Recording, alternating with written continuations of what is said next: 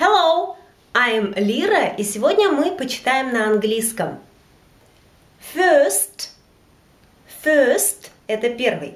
Second – второй. Third – это третий. First, second, third. Первый, второй, третий. First, second, third.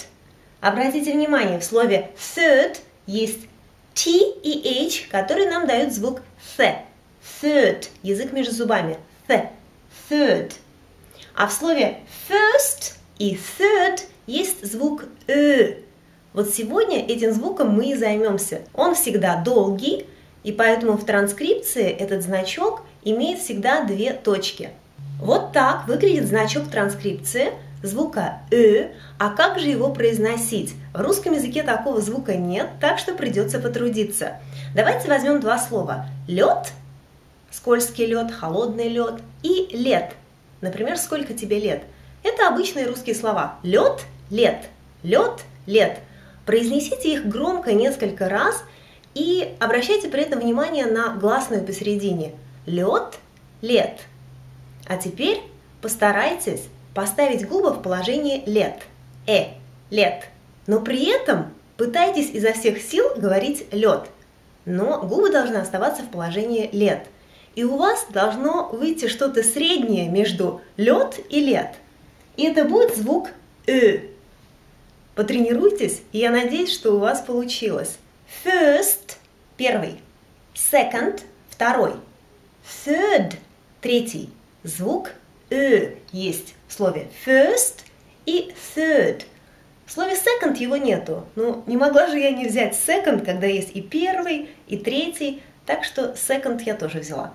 First, second, third. First, second, third. Первый, второй, третий. First, second, third. А давайте возьмем еще несколько числительных с этим звуком «э». Слово third вы уже запомнили. Third – это третий. Third.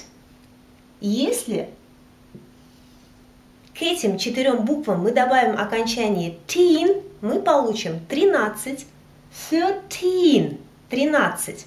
Thirteen – 13. Почему всех подростков называют тинейджерами?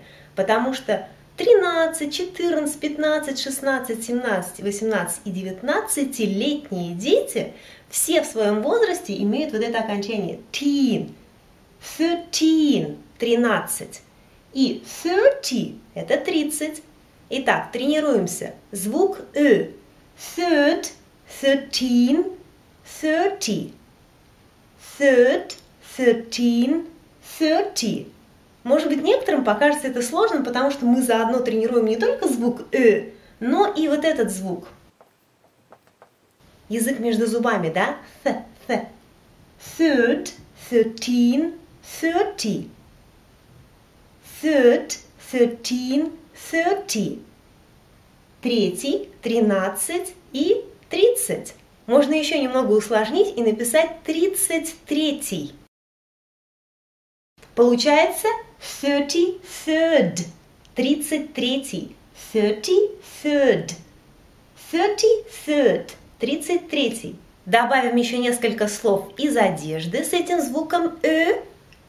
Shirt – это рубашка. Shirt. А если с большой буквой T в начале? T-shirt – это футболка. T-shirt. Потому что разложенная футболка напоминает букву T, да? Поэтому T-shirt – это футболка. И skirt – это юбка. Shirt, T-shirt, skirt. Тренируемся.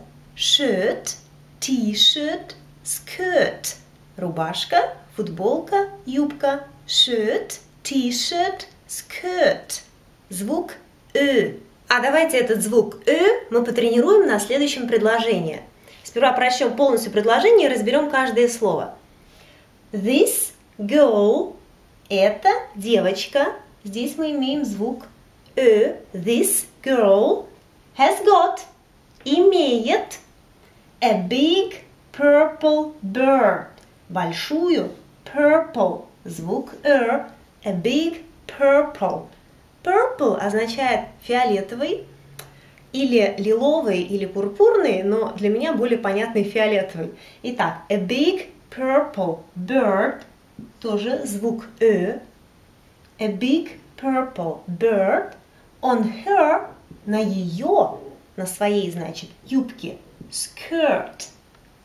Итак, я везде подчеркнула звук «э». Тренируемся. This girl has got a big purple bird on her skirt. Я буду читать медленно, а вы в промежутках повторяйте. This girl has got a big purple bird on her skirt. This girl has got a big purple bird on her skirt. Ну и чтобы полностью закрепить этот звук, давайте прочтем еще маленький такой текст. Look at your dirty skirt, Shirley, mom says. Посмотри на свою грязную юбку, Ширли, говорит мама. Dirty – это грязный, skirt – юбка, Shirley – это имя девочки, Ширли, Shirley. Look at your dirty t-shirt. Посмотри на свою грязную футболку. T-shirt. Футболка.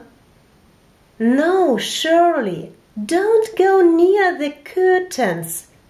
Нет, Ширли, не подходи близко к занавескам. Слово занавески – curtains. Curtains – занавески.